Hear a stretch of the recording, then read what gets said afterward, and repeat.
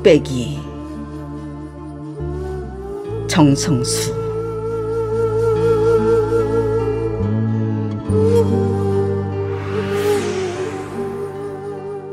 아가리가 넓고 속이 깊은 작은 오지그릇. 뚝배기는 하루에도 몇 번씩 몸을 씻는다. 씻는다는 것은 목욕을 한다는 것이 아니라 닦이는 것이다.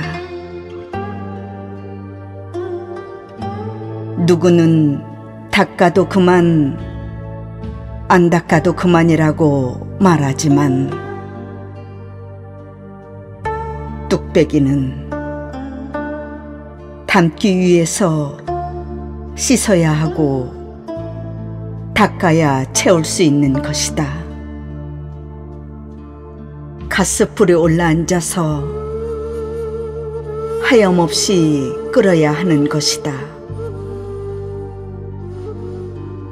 뚝배기는 한순간에 뜨거워졌다가 한순간에 식어버리는 냄비가 아니다.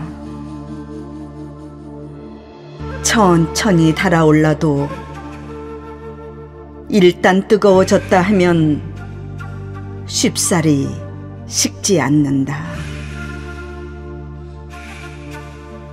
어쩌다 운이 좋은 날은 보신탕에 호강도 하지만